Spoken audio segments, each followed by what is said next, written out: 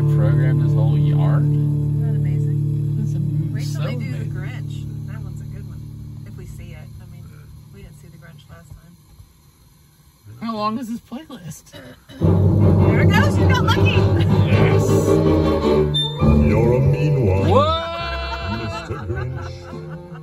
You really are a heel. You're as cuddly as a cactus. You're as charming as an eel, Mr. Grinch. You're a bad banana with a What? greasy black peel.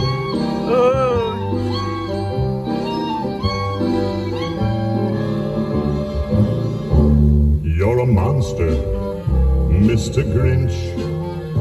Your heart's an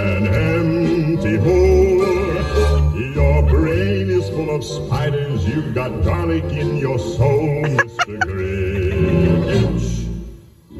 I wouldn't touch you with a 39 and a half foot pole.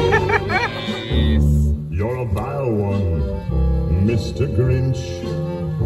You have termites in your smile. You have all the tender sweetness of a seasick crocodile, Mr. Grinch.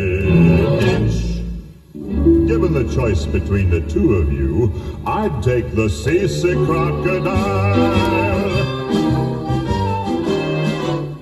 You're a foul one, Mr. Grinch. You're a nasty, wasty skunk. Your heart is full of unwashed socks. Your soul is full of gunk, Mr. Grinch. The three words that best describe you are as follows, and I quote Stink, stank, stunk. You're a rotter, Mr. Grinch. You're the king of sinful sots. Your heart's a dead tomato splotched with moldy purple spots, Mr. Grinch. Your soul is an appalling dump heap, overflowing with the most disgraceful assortment of deplorable rubbish imaginable, mangled up in tangled up knots. You nauseate me, Mr. Grinch, with a nauseous super nos.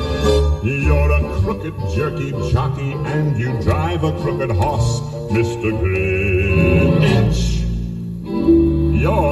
You're a three-decker sauerkraut and toadstool sandwich with arsenic sauce.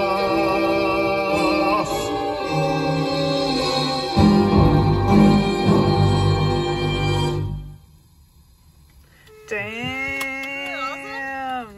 I feel like I'm more amazed that this person's broadcasting an FM radio station from their house.